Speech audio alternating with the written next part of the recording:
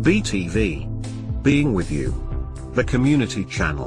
സോറിയാസിസിന് തുളസിയിലയും കരിഞ്ചീരകവും ഇട്ട് കാച്ചിയ വെളിച്ചെണ്ണ ശരീരത്തിൽ തേച്ച് കുളിക്കുന്നത് സോറിയാസിസിന് പരിഹാരമാണ് ധാരാളമായി കാരറ്റ് കഴിക്കുന്നതും സോറിയാസിസിന് ഗുണകരമാണ് For more, subscribe our YouTube channel.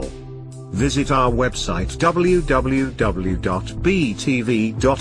like our Facebook page. BTV Malayalam.